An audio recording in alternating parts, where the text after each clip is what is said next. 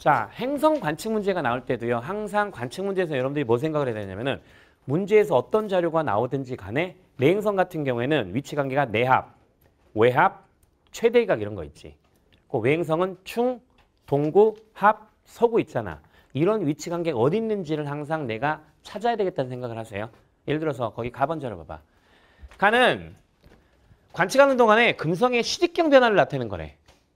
그럼 내행성이죠. 일부러 23번에는 내행성 넣어놨고 선생님이 24번에는 외행성 넣어놨는데 그럼 내행성의 위치 관계를 먼저 그리기 위해서 금성의 공전궤도 그리고 자 태양 그려놓고 여기에 우리 지구가 있어.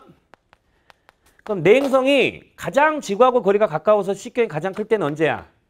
내합이지.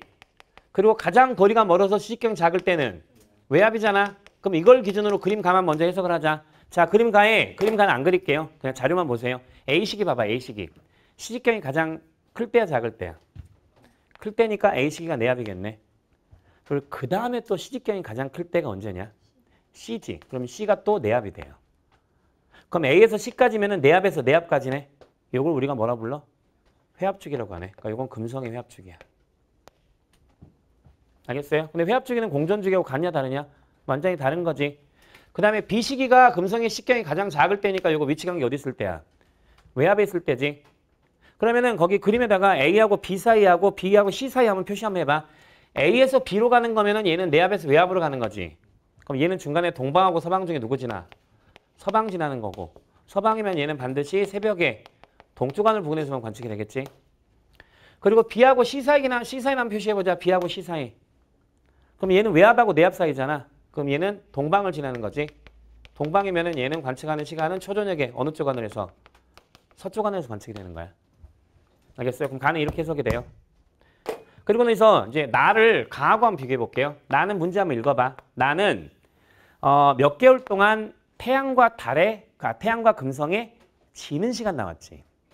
태양과 그 금성의 지는 시간 나왔어. 그러면 은 이게 월이고요. 먼저 태양의 지는 시간 표시해 볼게. 태양의 지는 시간 위로 올라갔다가 이렇게 되고 있어. 태양의 지는 시간. 요거 한번 물어볼까? 태양이 여기 있어. 요게 지는 시간이 가장 늦을 때지.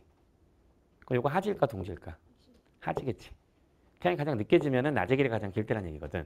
근데 이 기간 동안에 금성의 지는 시간 봐봐. 화 이렇게 변하고 있어요. 금성의 지는 시간.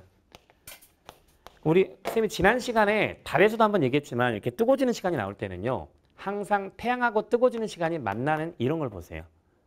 그럼 현재 이건 금성의 지는 시간이 태양의 지는 시간과 같은 날이란 얘기야. 그러려면 얘는 내합 아니면 외합이 돼야 되는데 이게 내합인지 외합인지는 항상 그 전을 봐야 돼.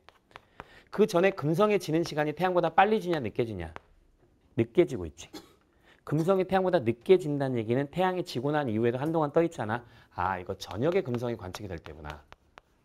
그럼 이거는 위치 관계가 동방 쪽에 있겠구나. 그럼 동방 이후의 합이면 이게 뭐가 되겠냐? 내합이 돼요. 그리고 요 내합일 때 위치가 기억이라고 돼 있지. 그러면은 요 가번 자료에서 기억은 A, B, C 중에 어디에 해당돼야 돼? A나 C에 해당돼야 돼요. 알겠어요? 그리고 그림 나번 자료에서 거기 P라고 하는 게 요 금성의 지는 시간과 태양의 지는 시간의 차이지. 요걸 결정하는 게 금성의 이각이잖아. 그럼 P가 크면 클수록 금성의 이각은 커지지. 그러면 관측할 수 있는 시간은 점점 어떻게 되겠어? 길어지게 되는 겁니다. 알겠어요? 자, 그래서 이렇게 위치 관계 판단하고 기억부터 한번 보겠습니다. 기억번. A하고 C까지가 금성의 회합축이 맞지? 그죠? 그 다음에 니은번 봐보세요. B하고 C까지야. B하고 C까지면 외합에서 내합으로 가는 거잖아. 이때 금성의 겉보기 밝기가 어떻게 되냐고 물어봤는데 자, 내행성의 밝기가 나오면은 일단 내행성은 내합에서는 무조건 무슨 모양이야? 사계 모양이면은 밝은 게 없지. 그러니까 이때 가장 어두워요. 그러면 외합에서 내합으로 갈수록 밝기가 절, 절대 증가하진 않아. 알겠어요? 그럼 밝기가 감소하느냐? 그건 아니야. 금성 같은 경우는 외합에서 내합으로 갈 때 밝기가 증가하다가 감소하는데 그건 좀 이따 새끼 문제 23-2번에서 한번 설명드릴게요.